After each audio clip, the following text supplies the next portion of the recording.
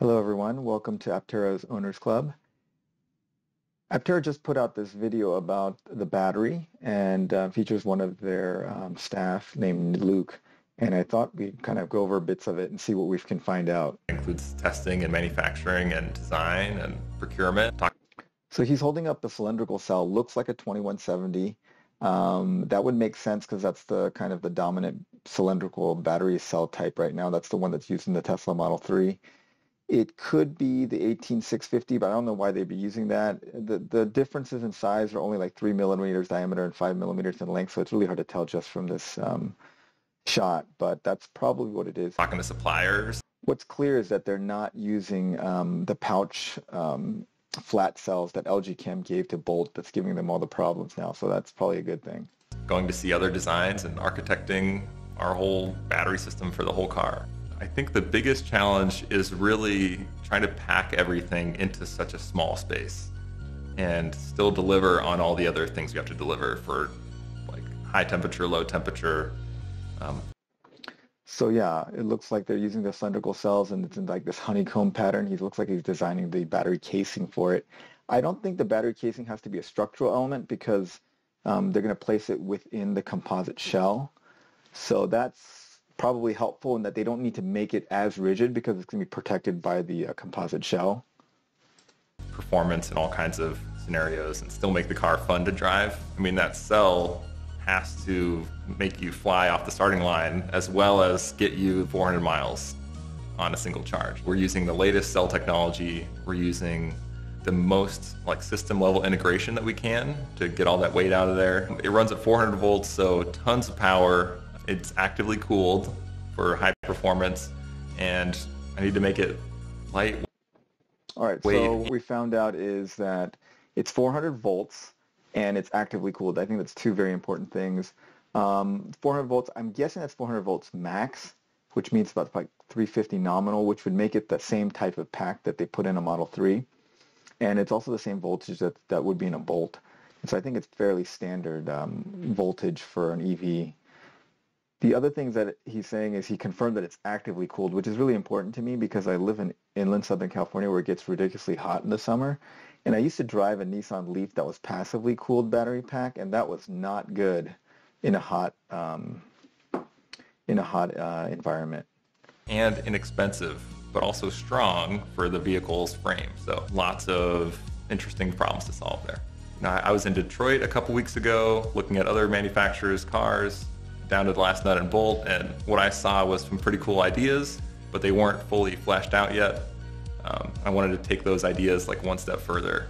Design is really about optimization, and the car can get twice as much range if you optimize it. I would love to take other manufacturers' designs and just plug them in, but everything I saw was very heavy, overbuilt, a lot of connectors and a lot of cooling pumps it, seemed like the people who are working on these projects weren't talking to each other as cohesively as they could have been. And it's not their fault. I mean, they're really smart people who are working on all this stuff. In companies I worked for in the past, I used to work for Hewlett Packard, and that's 55,000 people. Um, you have one team for every different section of the product.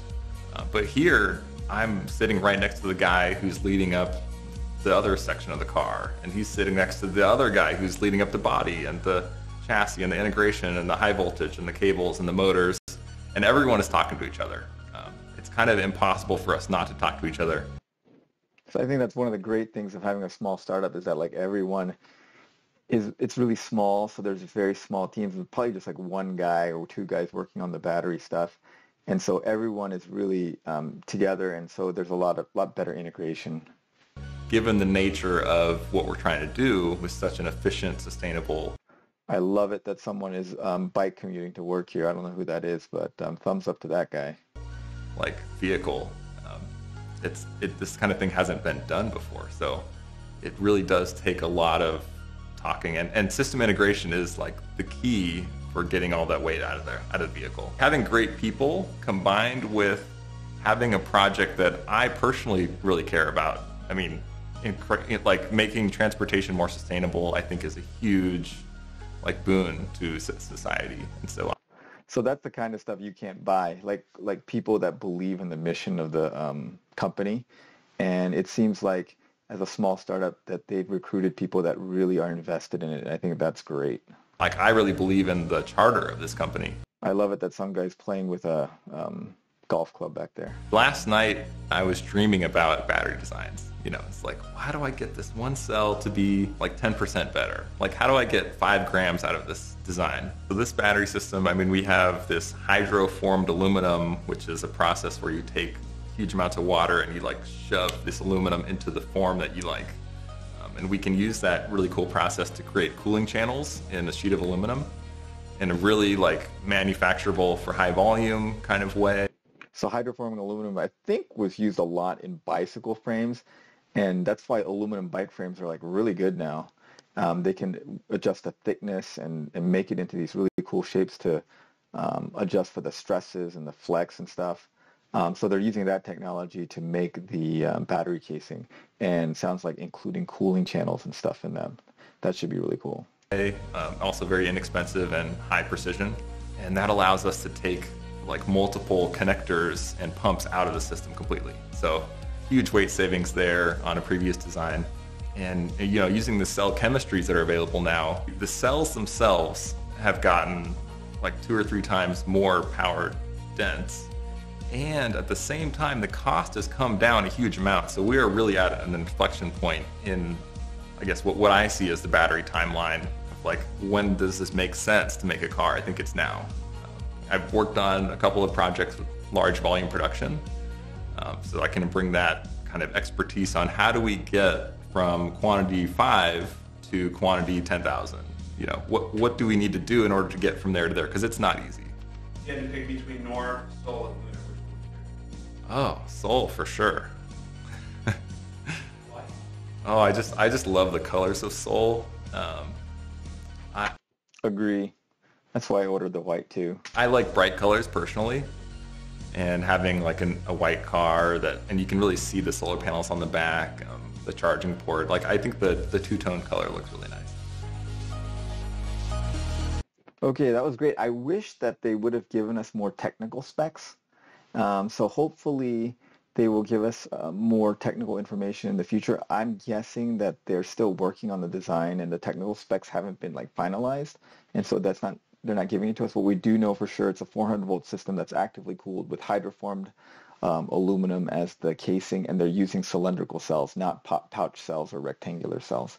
So I mean, we we did get some information from this.